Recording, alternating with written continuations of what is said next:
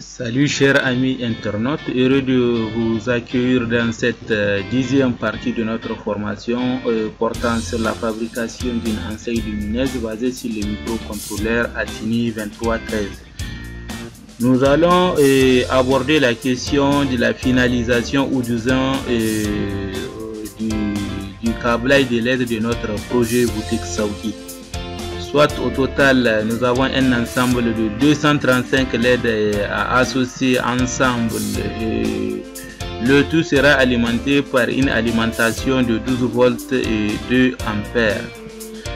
Le calcul que nous avons effectué au niveau de la vidéo donc euh, au niveau de la partie 2 de notre formation permettent de nous rassurer que l'alimentation serait en mesure de supporter cet effectif il faudrait faire attention au mode de câblage que nous allons adopter. Plus il y aura de branches en délai en série, plus il y aura consommation du euh, courant.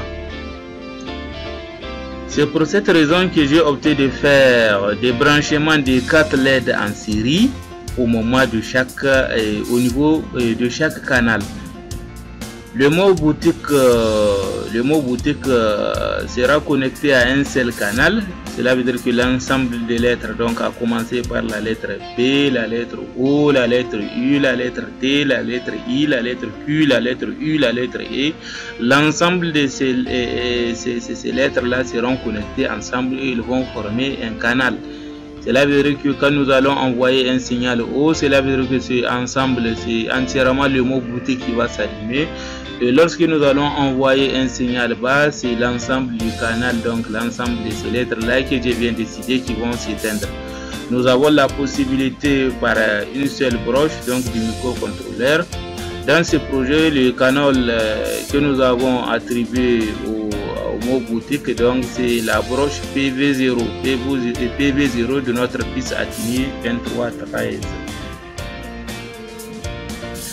Toutes les autres lettres se trouvent sur chacune sur, une broche du microcontrôleur Atini allant de la broche PV1 à la broche PV5. Les quatre LED seront connectés en les quatre LED seront connectés en série avec une résistance de 220 ohms. Cela veut dire que quand vous optez de mettre en série, vous optez pour les branches, donc une branche de 4 LED en série. Moi, ce que j'utilise le plus régulièrement, c'est que à chaque fois que je fais mon montage au niveau d'un canal, donc je mets 4 LED en série et je les protège par une résistance de 220 ohms du fait que nous allons utiliser une alimentation de 12 volts pour alimenter l'ensemble donc de ces tableaux. Cela veut dire que quand vous faites votre calcul, vous verrez que 4 LED auront besoin d'une résistance de 220 comme nous avons démontré ça dans une, dans une vidéo précédente. Le surplus de LED, maintenant, si j'ai un surplus de LED sur le canal, cela veut dire que je vais chercher la résistance appropriée pour protéger cette LED. Et cette LED là unique à elle seule, elle va constituer déjà une branche. Pour que l'on sache, pour qu'à la fin, ils n'ayons pas de surprise ou d'insuffisance donc de courant. À chaque fois que nous avons une branche, cela veut dire que d'office elle va, elle va consommer les 20 mA pour son fonctionnement. Donc la tension, la tension minimale de fonctionnement. Donc deux LED, c'est ce qui fait que quand nous avons une résistance d'une seule, une seule LED, elle va être protégée par une résistance de 500 ohms. Quand nous avons deux LED en série, ils seront protégés par une résistance de 470 ohms. Quand nous aurons trois LED, ils seront protégés par une résistance de 330 ohms. C'est pour cela au tout début de, cette formation, je vous disais, il faut vraiment avoir un ensemble, donc un kit, il faut acheter un kit de résistance parce qu'on ne peut pas faire ce métier ou bien cette passion sans pour autant avoir des résistances à côté. Il faut les avoir en quantité suffisante. Moi, le plus souvent, ce que je fais, je les commande au niveau d'AliExpress. Donc, je fais un stock au cas où je vais utiliser. Donc, je profite de mon stock. Voilà un exemple de câblage donc de la lettre I portée par le canal PV5. Nous allons maintenant illustrer en image les différentes phases donc du câblage. Il faudra vérifier l'état de chaque LED individuellement pour s'assurer de son bon fonctionnement. Cette LED sera branchée en série avec une résistance de 100 ohms. Si j'ai dit avec une résistance de 100 ohms, c'est que euh, probablement j'ai utilisé une tension donc de 5 volts. Ainsi, vous faites votre calcul, vous allez découvrir qu'une LED donc euh, sous une tension d'une volt, une LED aura besoin d'une résistance de 100 ohms pour sa protection. On peut aussi utiliser une alimentation de 12 volts et protéger la LED avec une résistance de 500 ohms comme nous avons vu précédemment. Voilà en image un exemple de câblage d'une enseigne lumineuse.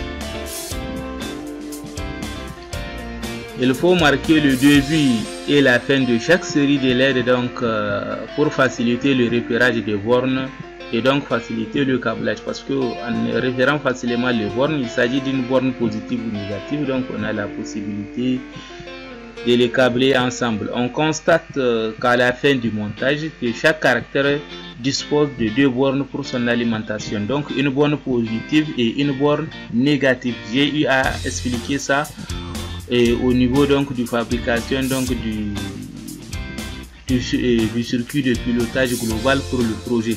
Toutes les bornes positives des caractères du projet seront connectées à une alimentation de 12 volts.